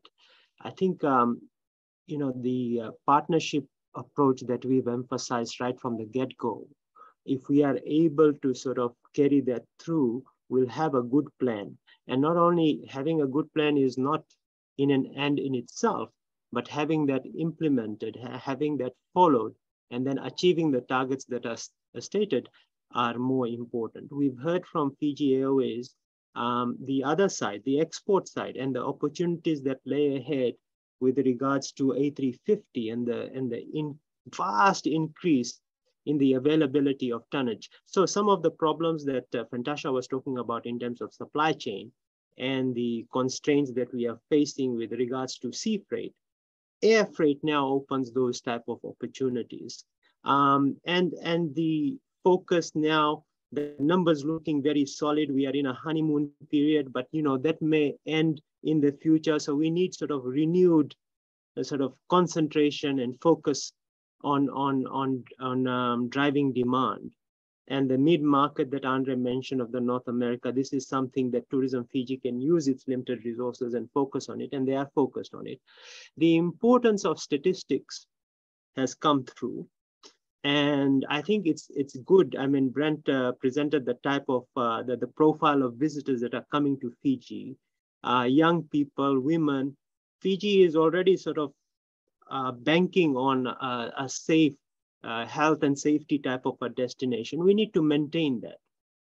Uh, so we need to um, get better better data, and we need to be on top of the trends uh, Fiji Airways uh, is very good at that. Uh, I think you know there, there needs to be a central sort of uh, repository where stakeholders are able to get this sort of data. And the ministry's website is looking at the International Visitor Survey and, uh, and has a portal where you can go and get up-to-date data. So we will be with working with IFC to um, to reposition that and better enhance that so that the data that is available is easily consumed by our stakeholders. Um, the doing business environment was mentioned by Richard. I'm glad he mentioned that we are constantly looking at reforms and we are constantly looking at nuanced regulation rather than one regulation for all. And this is in regards to MCEF, LTA, all the other regulatory uh, bodies with regards to town council, etc., uh, OHS requirements, NFA requirements. Uh, there needs to be a bit of nuance to it, a bit of smartness to it, so that that MSMEs are not throttled before they even start. MSMEs would be the another uh, avenue for potential growth of the industry, the potential increase of the industry. So th those are very good points. The other point that I wanted to mention is, is something that we, the, one of the strategies of the plan will be the uh, Fijian, the tourist dollar getting down to every Fijian. Um, and I, you know, uh, Richard spoke about that and in terms of stats on that. Uh, but in terms of local content, we could be very happy that now the hotel stock, there's a certain degree of local content through FNPF. No, uh, I, I don't know, the numbers is some 40 something, but before all the properties were owned by um, foreign investors. Nothing wrong with that. But now we are trying to get more local content, uh, more uh, uh, flow of the dollar towards the Fijian communities. Cruise tourism was mentioned in this regard. So this is something that the plan will look at. Uh, on the whole, I feel that, you know, with cooperation from bodies like Fiji Airways, um, Tourism Fiji, uh, bodies like uh, Fiji Hotel Tourism Association, SOFTA, and and Duavata Collective, I think there's a there's a there's a um, good pool of resources uh, to drive and develop this plan uh, for our short to medium term goals and long term goals as well, keeping in mind all the challenges that Fantasha had talked about, the long term focus, things like from pragmatic things like uh, solid waste uh, disposal to extension of our energy grid to things like you know um, the inflationary pressures on supply chains and others so um, uh, Becky, from our side, you know, I, I really want to thank the uh, panel for the insights uh, this morning. It provides a very rich source of uh, a pool of information that we can take forward uh, when devising this plan. Thank you so much, PS, for those further thoughts, guidances, and, and responses to some of the discussion points raised today.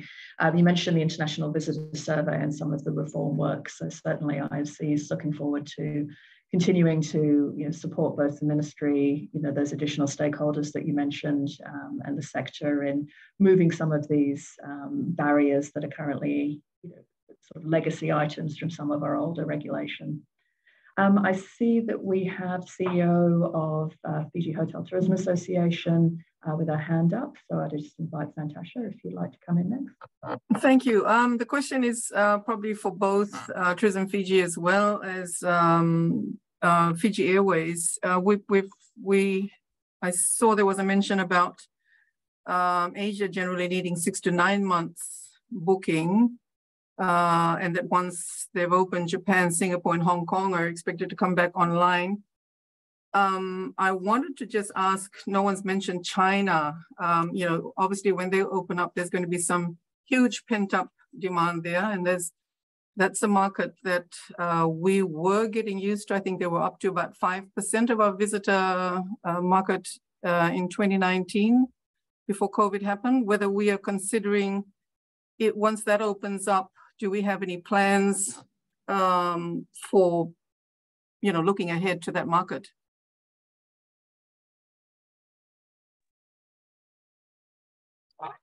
Uh, yeah, I can I can comment on that, and I'm sure Andre uh, as as well. I look from our perspective at the moment, we are very focused on um, the Chinese speaking market around the world. We we've generated six and a half thousand um, bookings already in that market and have seen groups coming through who are Chinese speaking, which is which is exciting. I'm certainly very bullish about the future with China. I think that you know um, we're, we're developing our China Ready program. We've just updated on on corporate.fiji.travel um, a whole bunch of information for the industry about the Chinese tourists and how to prepare for the Chinese tourists. Uh, we, we're looking ahead to sort of Chinese New Year next year, like that, around that February period, uh, as being you know when we think things can open up. But in terms of that mid-haul market, we're definitely very bullish about China. But it, but um, perhaps this is where I hand over to Andre to sort of talk a little bit about the uh, uh the airline capacity side. Uh, thank you, Brent, and thank you, Fantasha. We obviously serve the Chinese market through our flights in Hong Kong. And, um, you know, the demand just isn't enough at this stage to consider putting flights on. So once we see that demand increase, we will restore it. And Hong Kong is a very important market for us. Our, our concern is if we put flights out there now and they fly empty, with the cost of fuel, we burn a lot of cash. Also, and there's an opportunity to put a lot of extra flights into Australia at this stage. So what we're doing is we're saying until we see the demand, we'll rather fly more flights in, into Australia and, and obviously New Zealand. So yes, we, we're ready to go back into the market once we see the Chinese demand pick up, which is fed through Hong Kong for us. A small amount of it does come via Singapore, but it's, it's mainly the Hong Kong market. I'd like to ask this question from the hotel side, Fantasha. Are the hotels ready to handle Chinese guests?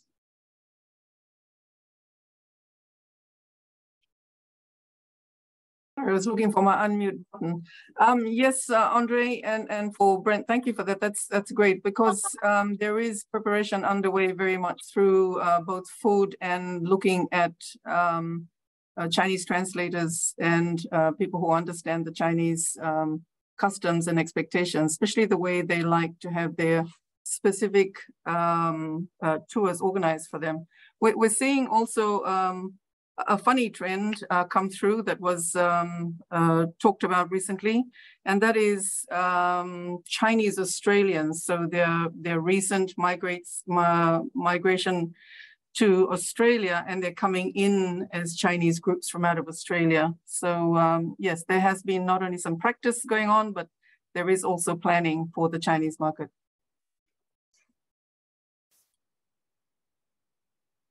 Thank you for that.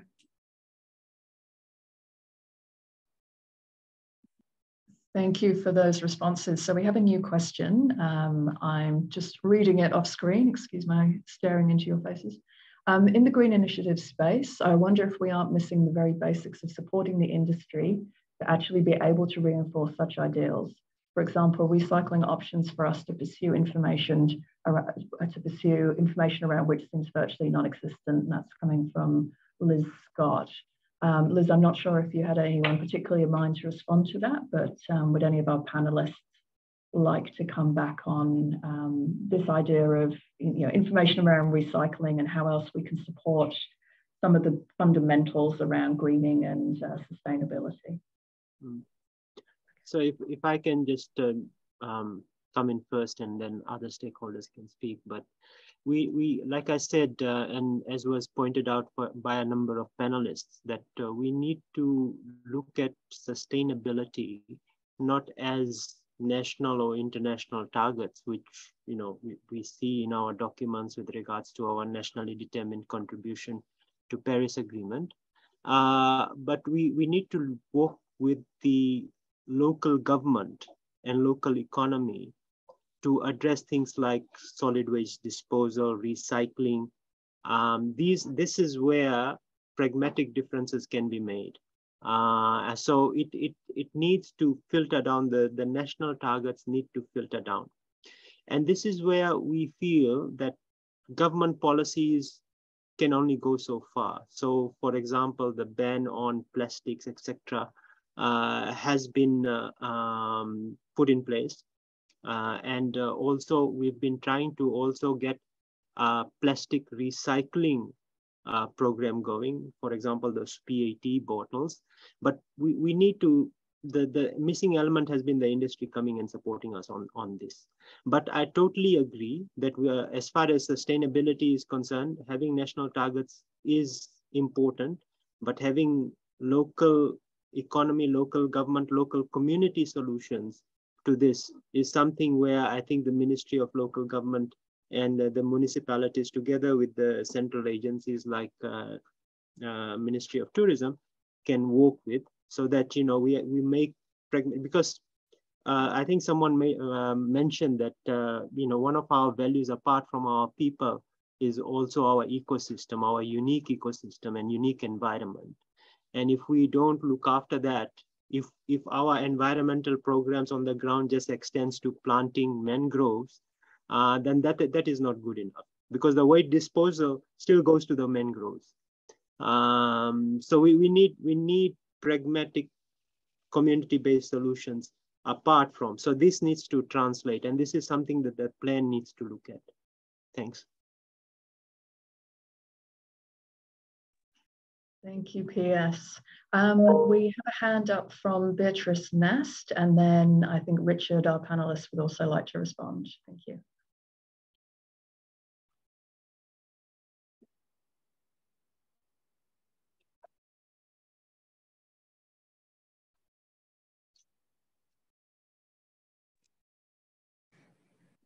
Hello.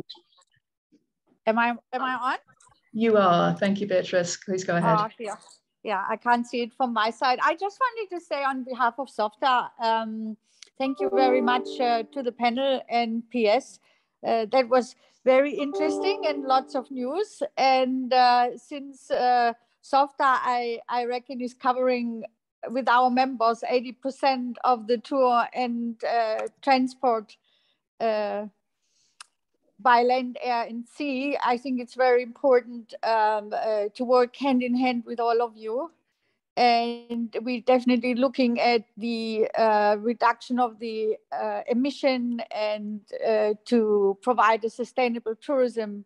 So uh, currently we're working on new missions and visions uh, for SOFTA and the trend is going now as as we can see on the bookings and things which i hear uh, to that people are traveling separately. There's no mass transport. That means all the companies need to change their their cars and uh, uh, the sizes and um, more people getting employed, which is the good side of it. Um, the other side is that there will be more emission.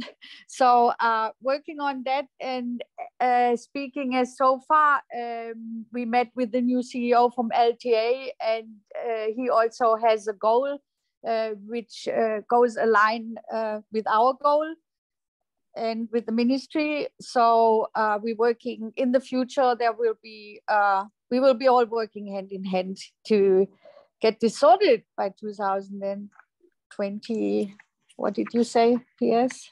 In 2025? Yes. Yeah, right. So we hope to do that. So thank you very much, everyone. Naka. Thank you, Beatrice. And uh, Richard, would you like to come in on this topic? I don't know if it's permissible. This is a slightly different topic.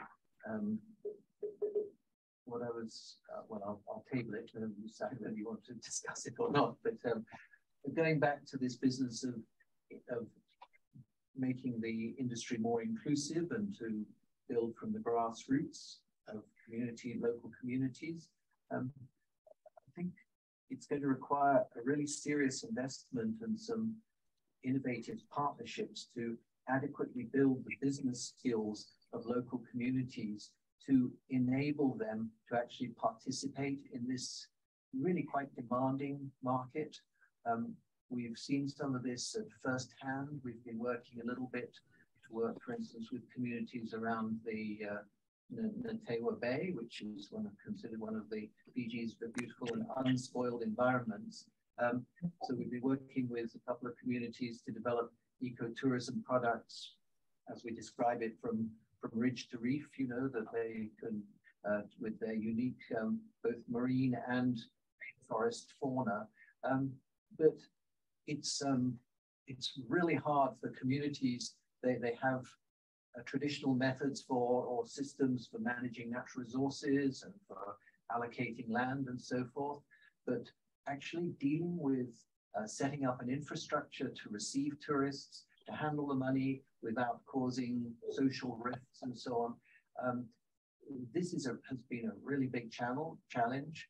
Uh, I had the pleasure of taking the IFC delegation up to one of these communities so that they could talk to the to the elders and community members in person. But I just think that if um, if this is going to be truly inclusive, to have not just half a dozen model communities, but actually the potential to involve hundreds or even thousands of local communities to really validate their and value their cultural and natural resources in the tourist industry, they're going to need tremendous amount of help with this.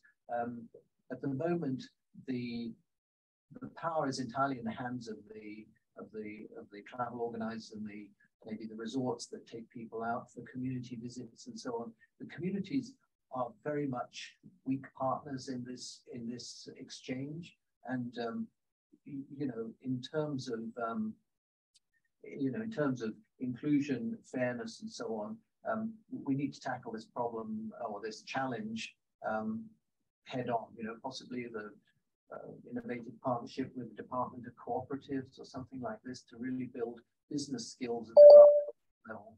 Thanks.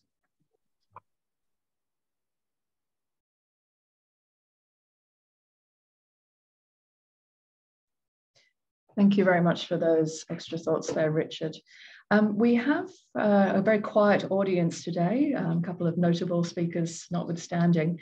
Um, we're very keen to hear from, uh, from the audience you know, as to whether there are particular topics that you'd like to do a, a deeper dive on in the future. To that end, we've prepared a very, very short survey. It's uh, just a couple of questions, I promise. Um, and I'll just ask our Tourism Fiji hosts to uh, pop the link to that into the chat for us, please. We'd uh, very much like to hear your, your priorities and any other topics that you think are critical for this PPD discussion. Uh, P.S., may I hand back to you? I know you have to leave us very shortly. Okay, um, thanks. Uh, are we um, ready to close now, um, Becky? Uh, we are able to keep the, the discussion going um, until 12 o'clock, um, but I think uh, based on the satisfaction levels uh, or lack of questions, um, we will probably conclude fairly shortly. All right, I, I just I just want to th say thanks once again um, to everyone that has joined us uh, virtually. Um, and I think I'll, I will leave uh, Jacinta and IFC to explain the process a little bit. But um, we want to do this plan quite professionally and together with all the stakeholders, uh, giving enough time and avenues and opportunities for input um, by the industry and other key stakeholders uh, I know um, uh, through IFC, um, the advertisements, uh, the tender has been advertised. We have received uh, interest from a number of professional firms.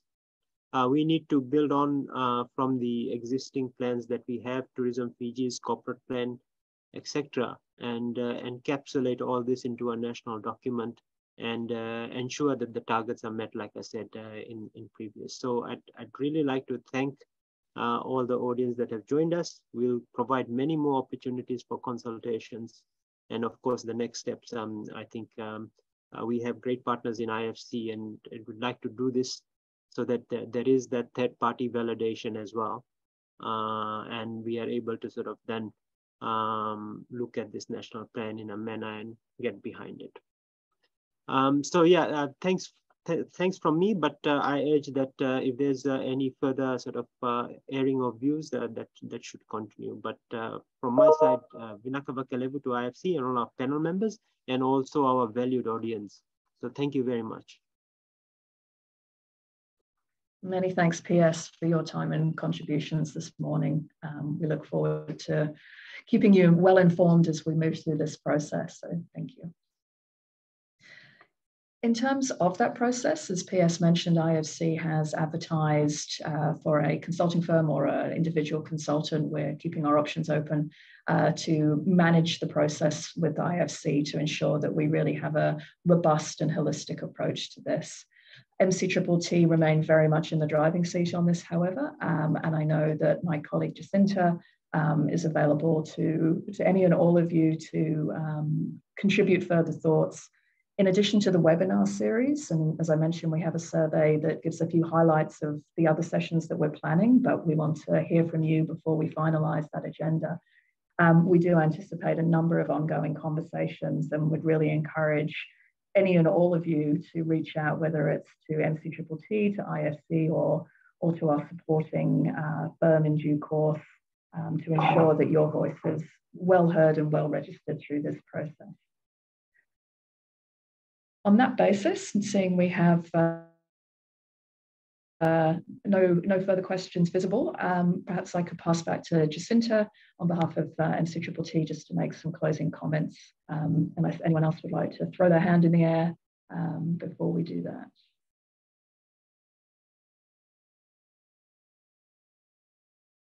Nope, my big screen says no. Um, so Jacinta, perhaps uh, back to you. Uh, thank you very much, Becky. Um, just want to say again, uh, as the permanent secretary has already mentioned, thank you very, very much to the panelists for joining us this morning and for taking out your time and sharing with us your expert insights. Um, again, we value partnership more than anything in this endeavor. So we look forward to working with you over the next few months. Um, for those who logged on but uh, would like to have separate discussions, uh, we encourage you to do so. You could reach out to me directly. Um, we'll leave my email in the chat. Um, in terms of the formats going forward, we intend to have one or two webinars uh, by the end of each uh, month uh, from now until uh, November. So I think the next webinar for now is scheduled for the last week of September.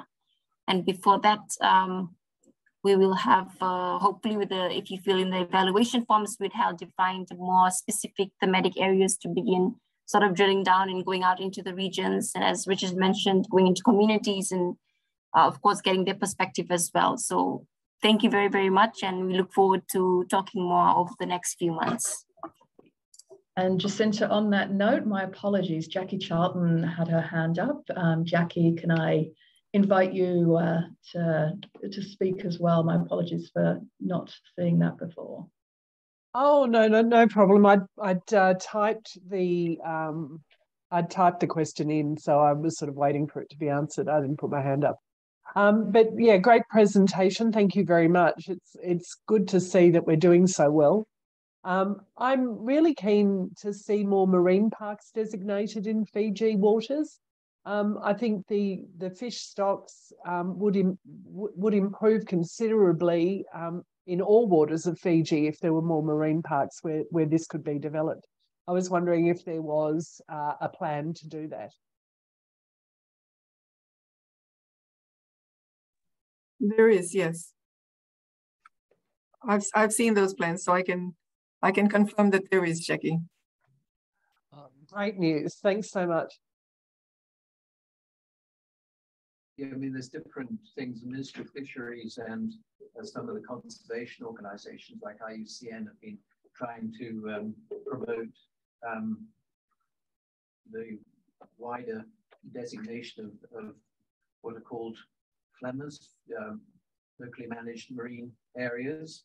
Uh, there was a time a few years back when I think fully 15% of Fiji's coastline was already protected by locally managed marine areas. And the idea was that the, the, uh, the Ministry of Fisheries and other stakeholders were moving to increase that.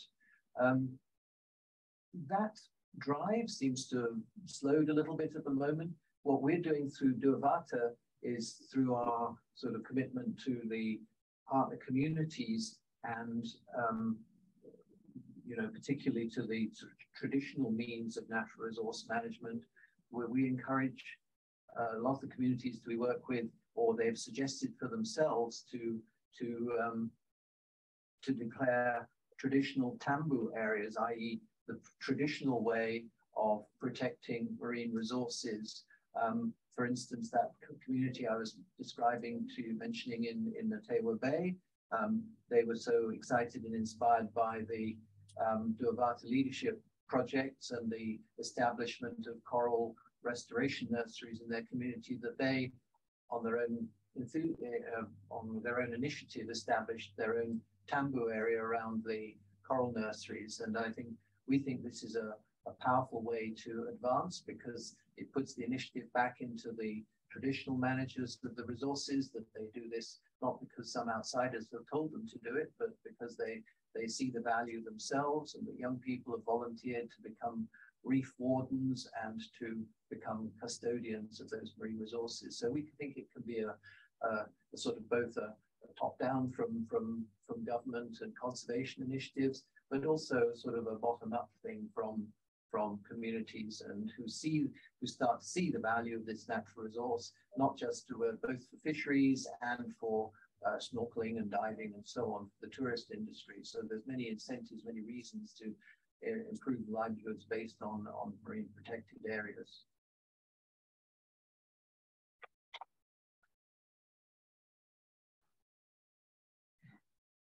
Thank you very much, Richard.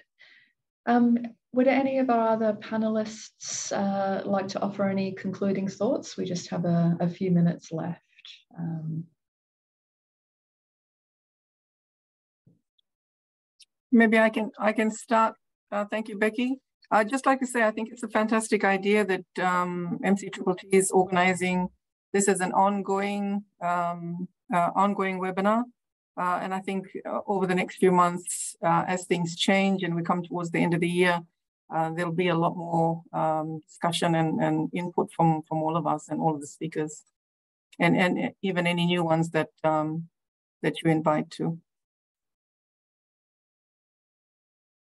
Thank you, Fantasha. And, and, certainly, as you highlight, this is the first of many. And uh, we have uh, a number of additional speakers and uh, representatives that we hope to engage with in future conversations. But again, you know, we very much welcome the audience's ideas, suggestions, volunteers um, to take part in panels in the future. Uh, we've started with some of the uh, the bigger players, the, the key stakeholders um, to sort of really set the scene. Uh, but these subsequent conversations we do hope will sort of go a little bit deeper and, and we certainly want to hear from subject matter experts across all of those areas. So once again, I encourage you to, uh, to take a look at the survey. It is, I promise, very short um, and just make sure that you know, your voice is heard at this early stage so that we can design those subsequent sessions um, to really you know, discuss the topics that matter to you as the industry um, and ensure that this is reflected in the new National Sustainable Tourism Framework. So seeing no further questions or hands up. Yes, uh, I'd like to make a final comment. Oh, please. Um, I'd like to thank everyone for this very important initiative. We saw the huge benefit of industry collaboration for our restart and getting back into the world stage after COVID. And I know that when we um, when we collaborate like we had, and we can do that in the future, our industry will just be stronger and better to the mutual benefit of everyone. So thank you. Thank you very much. Uh, going once, Brent, anything you wanted to add? You usually have a, a final thought or two. No, I just would echo what uh, what Chair just uh, said. Then Becky, it's a it's a great process, and and you know we want to work together. And I think you know the key thing is that we want to set ourselves on a path with some key action points as well. I think it's really important that we outline where the accountabilities are and the actions and then go after those as well once we talk it through. That's the important thing for me. So it's really that implementation piece as well, um, because you know, we're at a critical time in terms of our um, roadmap. So yeah, thank you. Wonderful. Well, just to reiterate the next steps then, um, I'm not sure if I mentioned the survey, but we'd love to hear from you um, through that mechanism as well, just to make sure we're on the right track with the topics. Um, Jacinta is available for one-on-one conversations. Um, I think she is sharing her email in the chat or um, certainly our colleagues at Tourism Fiji can help facilitate putting you in touch if you don't already have that direct line to her from IFC's perspective, we're also really happy to, you know, have direct conversations, one-on-ones, um, and particularly, you know, just to be gathering, you know, the full range of feedback. The next webinars you'll be notified about um, with thanks to our, our friends and colleagues at Tourism Fiji for their support with the platform, very much appreciated. Um, and yes, if no further comments, then we uh, bid you good morning with enormous thanks to the panelists um, and to you as our audience. Thank you. Thank you. Thank you, everyone. Thanks,